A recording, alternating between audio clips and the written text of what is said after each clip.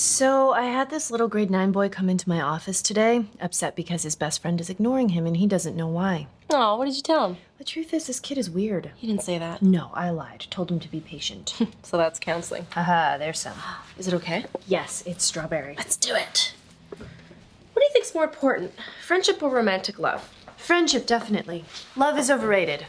Well, shouldn't a love relationship have everything friendship has, plus intimacy and sex? Yeah, but you can get sex anytime, plus you can always have intimacy with a friend. Love is complicated. Everybody always ends up sacrificing too much. I think the grass is always greener.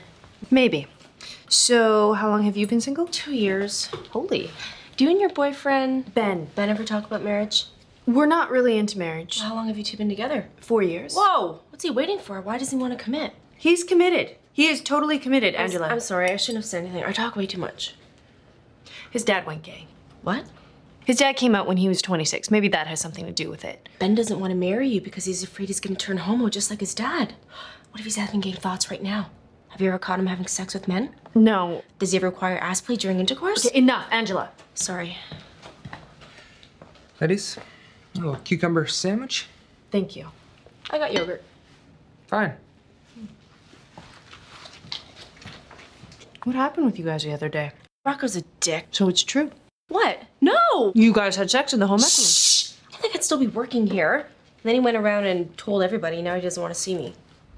You had sex with whom in the home ec room? Is that what I heard? Mm, Maybe it's the alcohol talking, Brent. It's cough medicine. Mm, it's medicine for your loveless marriage. Miss Chui, now is not the time or the place. You're right. Sorry. Or what? What are you gonna do, Brent? You are way out of line. And you're not drinking at recess again? Well, you should know, Queen of Mental Illness. You said things would be different. You're a drunk and a liar. I wonder how many students would like to know they're being counseled by a recovering addict. What? What?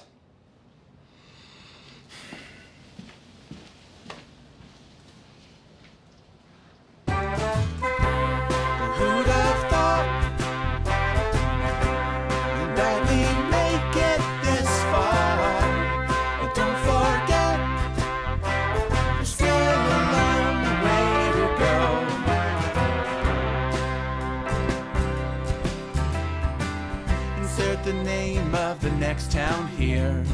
Make a wrong turn, double back, we're almost there.